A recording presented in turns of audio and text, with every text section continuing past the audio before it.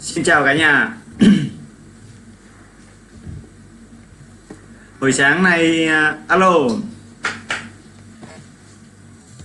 Mọi người có nghe?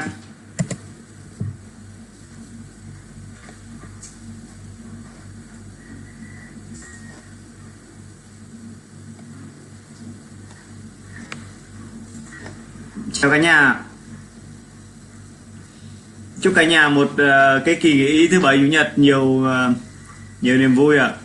Sáng sớm nay thì có nhiều anh chị em uh, hỏi thăm là có họp không thì cũng uh, trả lời anh chị là sáng nay mình không có họp bởi vì mình có bận một chút việc một chút việc nên là không có họp nhóm sáng thứ bảy hàng tuần thứ bảy hàng tuần vì vậy nên là um, cũng cũng không có có có có có cơ hội để ngồi nói chuyện được với anh chị. Có rồi thứ bảy thường hàng tuần thì um, trong cái nhóm uh, vẫn hay tổ chức cà phê vào buổi sáng buổi, buổi sáng hàng tuần ở ở Thảo Điền. Nhưng mà tuần này thì cả nhà hôm nay là đang đi chơi ở ở Vũng Tàu. Anh chơi ở Vũng Tàu. Nên là đang tính họp nhóm ở dưới ở dưới Vũng Tàu. Anh em nào ở Vũng Tàu trưa nay hay chiều nay uống cà phê đi không ạ? à? Anh em nào ở Vũng Tàu chiều, chiều nay uống cà phê không? À đúng rồi, đúng rồi, mới nhận phòng, mới nhận phòng sáng sớm à, từ từ thành phố Hồ Chí Minh xuống. Mới nhận phòng đang, đang ở khách sạn.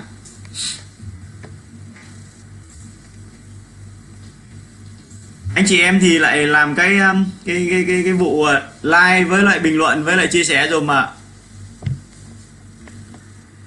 Like bình luận chia sẻ về Bắc Ninh hả? Bắc Ninh thì từ từ chưa về được. Quay camera ra biển hả? Quay ra, ra biển làm sao mà quay? Bây giờ nắng thế này quay ngược ra đấy nhìn nó tối om mà. Bởi vì theo cái cái được học về cái công nghệ um, truyền hình nhá công nghệ truyền hình là quay mà ngược uh, quay mà ngược sáng á, thì nó sẽ tối và nó không có đẹp. Mắt thì nhìn đẹp nhưng mà màn hình thì không đẹp. Tức là mình cái ánh sáng nó phải quay vào mặt mình thì mới sáng được còn nếu quay ngược ra ra ra ra, ra ngoài á thì nó sẽ tối. Ok.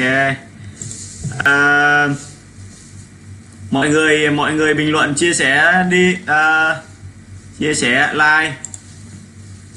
Sáng sớm nay thì thì chắc cũng nhiều người anh chị em đang uống cà phê có nhiều người gọi hỏi mời anh chị em là thứ bảy tuần sau. Sáng thứ bảy tuần sau thì ta sẽ lại tiếp tục cà phê à, ở Thảo Điền. Ở Thảo Điền. Này thì hôm qua có có một số anh chị em hô là thị trường đang à, đang đang đang nước sôi lửa bỏng thì lại bỏ đi đâu? Bỏ đi đâu? Thực ra thì chả bỏ đi đâu cả. Thắng thì vẫn tham gia thị trường vẫn uh, vẫn vẫn vẫn nói chuyện vẫn trao đổi với anh chị em hàng ngày. Nói chung rảnh thì lại nói chuyện thôi. Bây giờ công nghệ nó tốt rồi cứ cần có mạng là là chúng ta gặp gỡ được nhau nói chuyện trao đổi được với nhau vào buổi sáng. Anh chị có cái à, cái phản hồi gì thì cứ à, cứ nói thôi. Thì à, thì thì thì, thì thắng sẽ um, sẽ sẽ um, gọi là chia sẻ cùng với anh chị những cái cái cái, cái hiểu biết của mình thôi ngày hôm qua thì à, thắng có đăng một cái status về một cái cổ phiếu. Về một cổ phiếu mà bảo là để lại cái cái cái viên ngọc cho cho các anh chị á. Thì trong khoảng tầm 3 tiếng đồng hồ thì có tới uh, chính xác là có tới hai uh, 278 278 cái bình luận để lại mail vì là thắng sợ vì thắng sợ là cái mail của anh chị á sẽ bị nhiều người nhiều người khác copy sau đấy là gửi thư giác. Nên thắng đã đóng cái um, cái cái cái cái cái bình luận đó lại tức là đóng cái cái um, cái, status đó lại bằng cái chế độ là chỉ một mình thắng xem được thôi. Nhưng mà số lượng mail này thì thắng đã lưu rồi đã lưu rồi. Và sẽ gửi lại cái thông tin cho các anh chị. Gửi lại các thông tin cho các cho các anh chị thì bởi vì là nó nhiều quá, số lượng người để lại mail nhiều mà có rất nhiều người nó vào nó thu thập mail của anh chị rồi nó gửi à, toàn thư giác với thư chào chào chào hàng cho anh chị thì cũng à, kể ra cũng dở. Nên là trên tường sẽ không thật, có không còn tới xuất hiện cái bài viết đó nữa, bởi vì thắng đến cái chế độ là chế độ khóa rồi. Nhưng mà chắc chắn là sẽ sẽ sẽ sẽ sẽ ok thôi, sẽ tốt thôi. Chị tâm hả? Chị tâm cũng đi chung này đang ở đây nè có à, chị nào à, có anh anh nào hỏi chị tâm hả? Chị tâm đâu lại đây? Đây. Alo chị tâm là chị tâm là là là người pha cà phê mời anh chị em à, mời anh chị em à, buổi sáng á. Em khóa cái chế độ đấy lại đúng đấy anh anh anh Minh Sơn ạ. À. bởi vì em khóa như vậy thì mọi người sẽ không lấy được mail nữa. Chỉ trong vòng khoảng 3 tiếng đồng hồ em em em em có khoảng tầm 278 cái mail của mọi người gửi để nhận thông tin. Nhưng mà để như vậy thì nhiều người sẽ bị cọp cái mail đó sau đấy gửi họ gửi thư giác họ gửi tin giác gửi tùm lum ta lạ nên là em chuyển nó thành cái chế độ khóa tức là chế độ chỉ một mình em có thể xem được thôi. Nên là các anh chị sẽ không nhìn thấy cái đó nữa nhưng mà số lượng mail thì em đã có đầy đủ rồi. Là ờ, chào chú với lại uh, chào tiến sang sang cái phòng hai hai hai hai mươi hai. Đây lấy chìa khóa phòng hai mươi hai.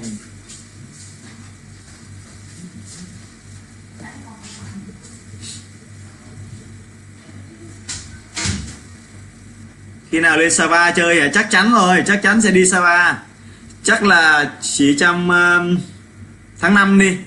Anh đoán là tháng 5 lại lại có một cái nhịp là anh uh, thực ra thì không giấu gì mọi người cả. Thắng vừa thực hiện một cái lệnh mà cái lệnh này mọi người ít để ý đến. Đó là lệnh giao dịch ngoài thị trường.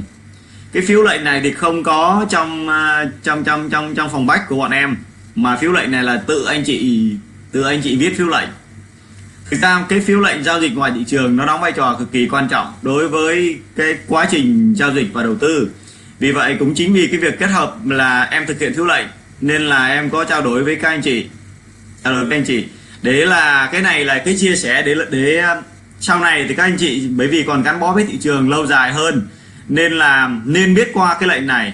Thực ra cái lệnh này không có công ty chứng khoán nào nào có phiếu lệnh hết và cũng chẳng có công ty chứng khoán nào khuyến nghị các anh chị đâu bởi vì các anh chị mà thực hiện cái lệnh ờ, gọi là lệnh giao dịch ngoài thị trường thì xác suất các anh chị sẽ giữ tiền ở trong tài khoản hoặc là rút tiền ra ngoài thì không có một doanh nghiệp hay không có một đơn vị nào uh, thích cái chuyện đó thích cái chuyện đó hết.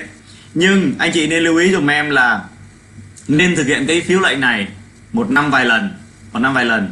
Cái phiếu lệnh này nó có hai tác dụng. Thứ nhất là giữ cái thành quả của các anh chị cái tác dụng thứ hai nữa, có thể các anh chị giao dịch ngoài thị trường tại một thời điểm, ví dụ như là anh chị bán chưa phải ở đỉnh, chưa phải là thị trường còn còn có thể tăng trưởng nữa, nhưng cái vấn đề đó không quan trọng. Không quan trọng, không không không quá quan trọng cái câu chuyện là tăng hay giảm. Mà quan trọng nhất đó là anh chị dám thực hiện cái lệnh đó. Dám thực hiện và dám đưa ra cái phiếu lệnh đứng ngoài thị trường.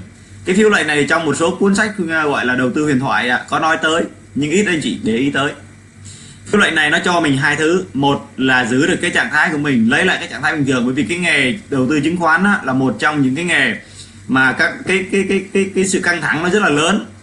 Nó làm cho đầu óc mình lúc nào cũng mụ mị đi. Tức là gọi là say đòn á. Có một ở cậu em có nói với em về cái cái cái việc là nó bị say đòn.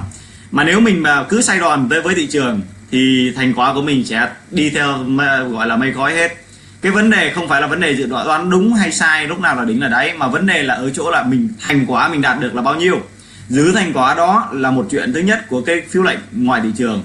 Cái việc thứ hai nữa là để cho anh chị gọi là retard lại chính bản thân mình.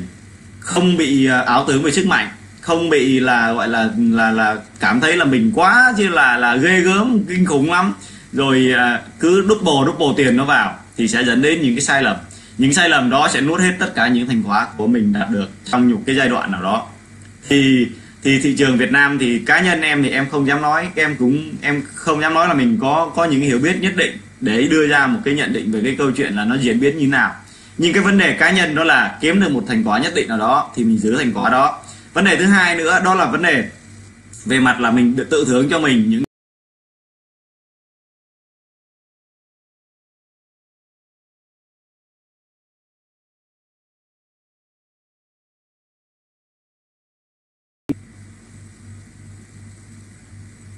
à, mình mình mình tưởng như mình và mình à, mình cảm thấy là mình lấy lấy lại cái sức để cho một cái cuộc chiến mới cho cuộc một cái cuộc chiến mới. Đúng không anh chị? À, mạng hơi kém đúng không? Mạng kém mà. Mạng này mạng của, của khách sạn nên là cũng thua rồi không biết là như nào. À, có thể là nó hơi giật một chút do là thắng nói nhanh quá nên là cái âm thanh nó thu vào nó hơi hơi hơi hơi nhanh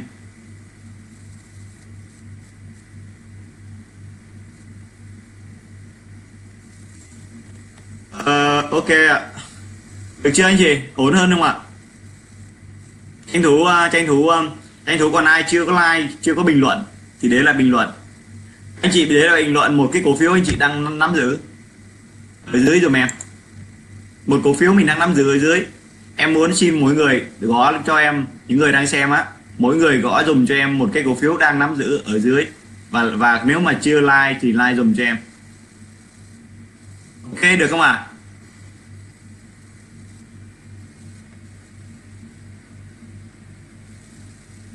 Gõ đi ạ. Cứ gõ một cổ phiếu nắm giữ đi ạ. Anh chị à, vui lòng thử gõ cho em một cổ phiếu thì mình đang nắm giữ đi ạ.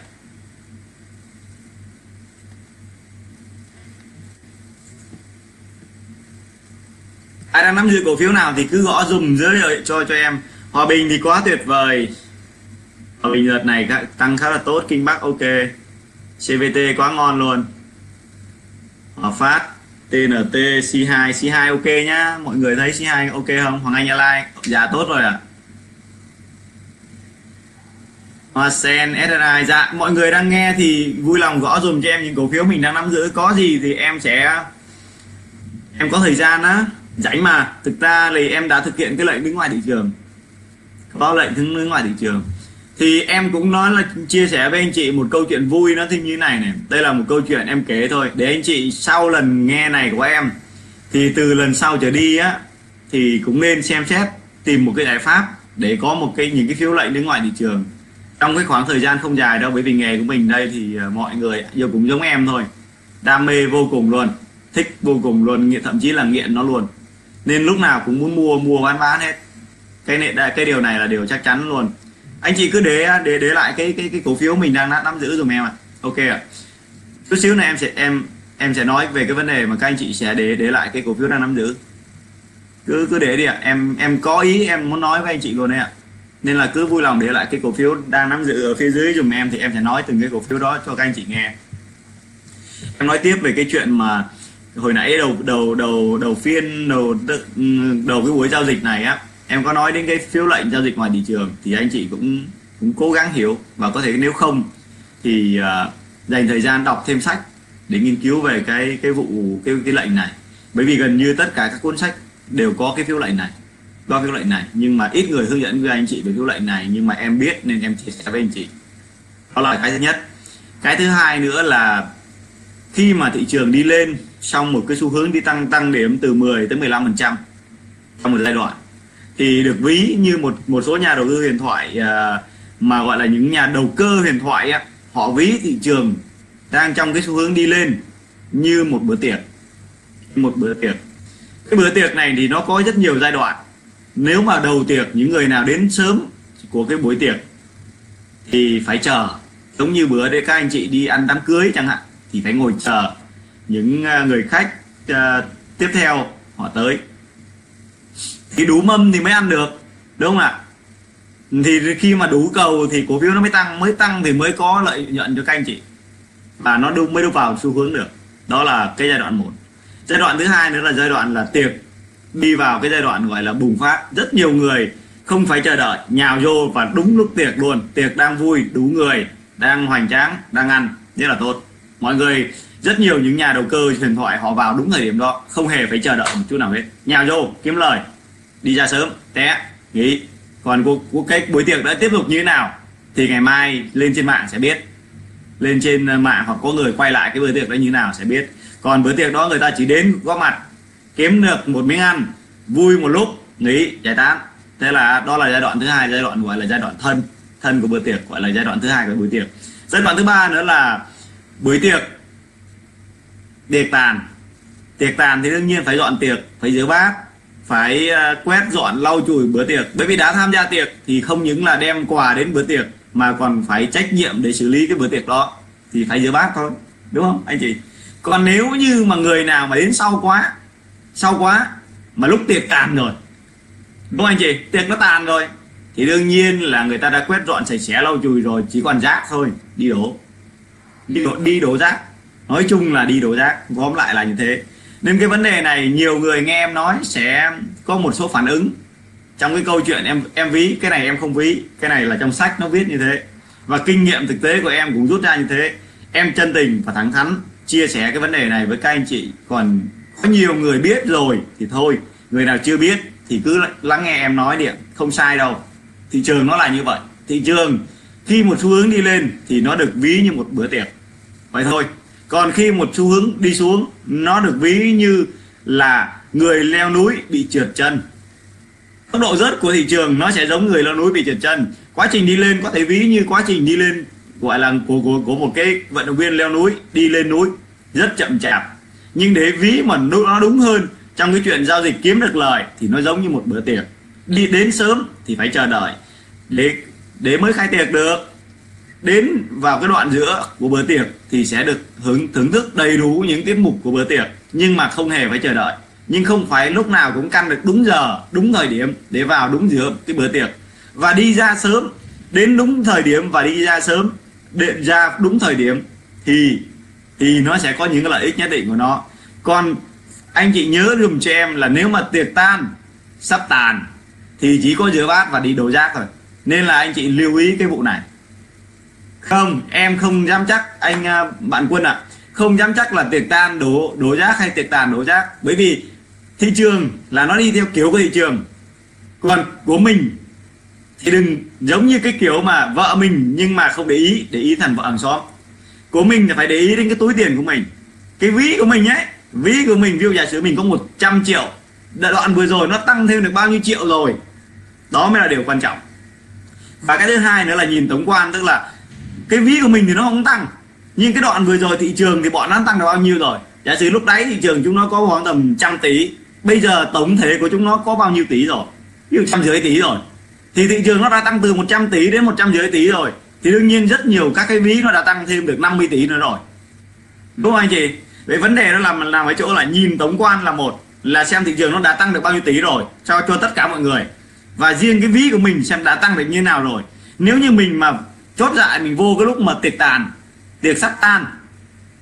Thì dù cái ví của mình không tăng nhưng ví của thiên hạ nó cũng tăng rồi. Nên anh chị phải nghiên cứu lại cái vấn đề đó. Chứ còn đừng quan tâm là để dự đoán thị trường đỉnh hay đáy. Đỉnh đáy thì em đã có hướng dẫn với anh chị về cái câu chuyện là là bán ở cái khi mà các cái chỉ báo cực đại. Hay là bán sau khi là tan tiệc. Sau khi tan tiệc nhìn thấy tiệc tàn mới chạy. Đó là chuyện, chuyện nó lại đây là một chuyện khác nữa. Chuyện đó nó liên quan đến vấn đề phân tích kỹ thuật. Và cái này phải học dành rất nhiều thời gian cho cái câu chuyện là nghiên cứu cả về mặt vi mô, vĩ mô, thị trường, tình hình kinh tế, xã hội và nhiều vấn đề khác nữa. Đúng không anh chị? Còn vấn đề ở đây anh chị kiểm soát được một thứ, đó là kiểm soát được cái lệnh enter mua hay bán. Bán hay mua là quyền của các anh chị. Kiểm soát được một thứ nữa là chỉ có anh chị kiểm soát được thôi. Đó là cái ví của anh chị. Là cái này anh chị này. Nó là cái này này. Nó là cái ví này này. Anh chị kiểm soát được cái này, chứ em không kiểm soát được, bởi vì nó nằm trong túi của các anh chị nó tăng nó giảm bao nhiêu đó là của các anh chị. Đúng không ạ? Anh chị đồng tình quan điểm thì không vui lòng để tiếp cái lượng cái cổ phiếu anh chị đang nắm giữ à, vào cái bình luận dùm cho em. Hoặc là gõ bất kỳ một cái cái cái cái cái từ gì đó cho em. Em muốn là uh, cái bình luận của các anh chị á nó sẽ có nhiều lợi ích lắm. Em sẽ đọc. Em hứa là em sẽ đọc tất cả các bình luận. Và em sẽ phản hồi những cái thứ mà anh chị còn đang chưa hợp lý. Cứ bình luận những thứ mình cần. Hãy chia sẻ bởi vì ta nói chuyện theo hướng là face to face, tức là em mặc dù em trực tiếp nhưng em vẫn muốn được được được được gọi là tương tác lại. Để gì? Để để em cảm nhận xem là cái thứ em nói đúng đến đâu, sai như thế nào, chỗ nào chưa phù hợp, lần sau em sẽ nghiên cứu các cái vấn đề khác nó hợp lý hơn để nói với các anh chị. Cái đó mới cái quan trọng anh chị ạ. Chứ không phải là chỉ mình em cứ ngồi xa xả nói chuyện giống như một cái thằng khùng. Nói chung nói hơi hơi có lỗi nhưng mà không nên thế. Bởi vì như thế nó không hay một chút nào cả đó là cái thứ ba. Thị trường có thể tăng nữa, có thể giảm lại. Cái đó là chuyện của thị trường. Em không chắc chắn, em không bao giờ đưa ra cái câu chuyện chắc chắn, bởi vì em chỉ dám nói rằng là tỷ lệ xác suất 70 phần trăm 80 phần trăm là cổ phiếu này còn có thể tăng nữa. Hay tỷ lệ xác suất 80 phần trăm 70 phần trăm, cổ phiếu này có khả năng giảm xuống. Chứ còn không, ai có thể nói chắc chắn rằng là cổ phiếu này sẽ tăng nữa hay là sẽ giảm lại chuyện nói chắc với thị trường là điều sai lầm. Không có ai kết luận được chuyện đó hết. Tất cả những nhà phân tích có một số bạn là dân phân tích TA và phân tích kỳ, cơ bản nói với em rằng là ông nói sảm thực ra nó không phải là nói sảm cái thằng con thằng con giá giá cái thằng con giá nó gọi là cái cái cái cái, cái giá là một đứa hiếu động. Nó không bao giờ dừng tại một chỗ. Nó đi lên hay đi xuống nó phụ thuộc rất nhiều vào tư duy và hành vi của các các các thành phần tham gia mà tư duy hành vi các thành phần tham gia thì nó quá nhiều các thành phần tham gia rất nhiều các thành phần tham gia. Vậy nên mỗi người có một cái tư duy hành vi và nhận thức vấn đề nó khác nhau cho nên mới, nó mới có cái thị trường nó gọi là market marker. Nó có cái thị trường nó có cái thị trường như vậy thì nó mới có người mua thì phải có người bán. Bởi vì tư duy hành vi là khác nhau. Vì cái tư duy hành vi đó nó dẫn đến câu chuyện là một bài toán có nhiều phương trình. À, một cái một cái phương trình mà có nhiều cái cái cái, cái ẩn số thì không thể giải ra kết quả chính xác được không có kết quả chính xác đâu anh chị. Kết quả gần đúng thôi. Ngày xưa các anh chị giải một cái phương trình mà có 4 ẩn 5 ẩn nhiều khi còn phải ấn định một ẩn giả sử x bằng 0 hay bằng 1 rồi sau đấy suy ra các cái khác, sau đấy là dùng cái về cái giải pháp biện luận đó để chuyển đổi, để tìm ra một kết quả gần đúng. Anh chị hiểu cái chuyện đó em nói không? Thì cái câu chuyện chứng khoán nó cũng vậy. Cái người học nhiều, nghiên cứu nhiều, cũng chỉ để nâng cái tỷ lệ gần đúng lên nó cao nhất thôi. Nên hoàn toàn cái câu chuyện mà trong cái Soros nó ông có nói á, một cái câu thành ngữ mà rất như là để đời của ông Soros ông nói á, là bạn luôn có thể sai. Bạn luôn có thể sai tức là gọi là cái cái cái cái cái cái định luật có thể sai của ông á. Định luật có thể sai là định luật cực kỳ hay mà em thích nhất trong giới đầu cơ thị trường tài chính chứng khoán vàng cổ phiếu hay thậm chí là dân cờ bạc cũng nên có hiểu về cái định luật này. Lúc này em sẽ nói riêng về cái định luật có thể sai cho anh chị nghe. Đó là cái thứ ba cái thứ tư nữa là tại sao em nói với các anh chị là anh chị đang nắm cái gì? Bởi vì thực ra anh chị đang nắm cái gì, thị trường sang tuần tới tăng nữa, xác suất tăng bao nhiêu phần trăm, thì điều đó là điều hoàn toàn ngoài khả năng nhận xét của bất kỳ một ai. Tất cả các analyst của các doanh nghiệp, các chuyên gia nói chuyện cũng chỉ là dự báo và có cái miễn trừ trách nhiệm. Anh chị nhìn thấy trong các báo cáo tài chính chuyên nghiệp đều có cái phần là miễn trừ trách nhiệm báo cáo này là dữ liệu thông tin dùng để tham khảo. Đây không phải là tư vấn hay là đây là cái cái gọi là cái cái cái quyết định đầu tư. Anh chị vui lòng sử dụng các cái thông tin này cho việc tham khảo. Chúng tôi không chịu trách nhiệm trên cái câu chuyện là anh chị dùng cái thông tin này để à, đưa ra quyết định đầu tư. Việc đó của anh chị là do các anh chị. Nói tóm lại là nó như thế. Và các báo cáo chuyên sâu, chuyên nghiệp cũng đều nói như thế các chuyên gia lên trên à, lên trên trên báo hay là hay là đưa ra các cái nhận định nhé họ cũng đưa ra các nhận định rất như là chung chung. Sợ, sợ để phòng trách trách nhiệm. Em thì em không nói thế. Em nói về bản chất của cái sự việc là bởi vì nó là như thế nên là người ta không thể nói đúng được không thể nói trúng được. Nói đúng mà nói trúng được thì nhiều người quay lại nói là nếu nói đúng nói trúng vậy thì mày đó mày ngồi đó mày nói làm cái gì? Mày bán nhà nhà mày đi mày đầu tư cho nhanh. Ông bán nhà của ông đi ông đầu tư cho nhanh một một một mẻ cá lớn là xong thôi mắc gì phải đi ngồi nói chuyện. Nhưng phải cái việc nói chuyện là để thu thập và để cảm nhận thị trường nâng cao cái khả năng nhận định và đánh giá vấn đề nó đúng và trúng hơn. Có nhiều cậu em mới nói với em thế này này em ờ, cảm thấy rằng là rất mất niềm tin vào anh. Bởi vì anh nói là đầu tư cổ phiếu cơ bản trên nền cổ phiếu cơ bản và lướt trên cổ phiếu cơ bản thôi. Em đang nói với cấp độ nhập môn và cấp độ cấp độ 1, cấp độ 2 còn những cấp độ chuyên sâu để tìm được một cổ phiếu mà giống như những cổ phiếu mà biết đâu nó là khu vực tạo đáy và rẻ và có khả năng sống lại, thì mới kiếm được lợi nhuận cao. Em lấy ví dụ như là em có một cái mẹ em giao dịch Sacombank, giao dịch Hoàng Anh gia lai, giao dịch Likuji chẳng hạn. Em lấy ví dụ thôi, đây là ví dụ thôi. Thì đương nhiên phải có một cái trình độ nhất định nào đó, đến một cái cấp độ nào đó anh mới tham gia được với những cái mẻ cá mà đầy rủi ro như thế những cái mẻ cá đầy rủi ro như thế không phải ai cũng tham gia được bởi vì cái này này nó sẽ có họ có khả năng là tăng gấp đôi nhưng nó cũng có khả năng là không còn đồng nào nữa. Thì có hiểu ý em chia sẻ không nào? Em chia sẻ cực kỳ chân tình với các anh chị luôn. Chân tình luôn trăm phần trăm là em rất là chân tình. À, đó là vấn đề thứ ba em nói tới. Vấn đề nữa em nói tới đó là rất nhiều video em không muốn nói thẳng với các anh chị rằng là nên giảm tỷ trọng một cách quyết liệt giữ lấy phần lợi nhuận của mình. Nhưng mà nói như vậy á, thì nó sẽ làm phật lòng rất nhiều người. Có rất nhiều người mua rất là muộn. Mua muộn nên là không có lợi nhuận. Vấn đề ở chỗ là khi thị trường sừng sừng sừng lên thì mới mua. Nên rõ ràng nó không có lợi nhuận và đến mua cái chị bị sai ngay từ đầu, chứ không phải là vấn đề cổ phiếu đó tốt hay xấu cái vấn đề cốt lõi của cái câu chuyện em xét nhóm á, là vấn đề em muốn bận- dần dần em sẽ đưa cho anh chị cái tư duy kiếm được lời. Đừng có nặng nề câu chuyện cổ phiếu nó tốt hay không tốt, nó tốt hay không tốt, đó là cái câu chuyện của phân tích cơ bản. Điểm mua là câu chuyện của phân tích kỹ thuật. Và giá là cái thằng con bất tuân. Nó không gắn với thằng nào hết á, nó thích thì nó lên, nó thích thì nó xuống. Nên là ba cái thằng đó mình phải gọi là linh hoạt, kết hợp nó lại với nhau. Đó đấy có cách đấy, linh hoạt kết hợp lại với nhau. Nó bằng cái phương pháp, cái chất keo kết dính của cái việc linh hoạt đó đó là kỷ luật và sự kiên nhẫn. Anh chị nghe em đi, cái video này không có nhiều người nghe đâu, hôm nay đang có khoảng tầm hơn 100 người nghe thôi 99 người nghe thôi. Nhưng cái quan trọng nhất của câu chuyện, anh chị đổ cái chất keo kết dính, kỷ luật. Kỷ luật và cái sự kiên nhẫn nó như thế nào để nó kết dính ba thằng đó lại với nhau? Thì anh chị sẽ đưa ra được cái nhận cái, cái định lượng về cái cổ phiếu nó như thế nào đúng hay sai? Phải biết về cơ bản chuyên sâu một chút. Các bạn nào đấy gọi điện cho em á để chút xíu nữa em trả lời đi. Em trực tiếp đúng 30 phút thôi. Hôm nay 26 phút buổi sáng nay em không cà phê nên em trực tiếp với anh chị.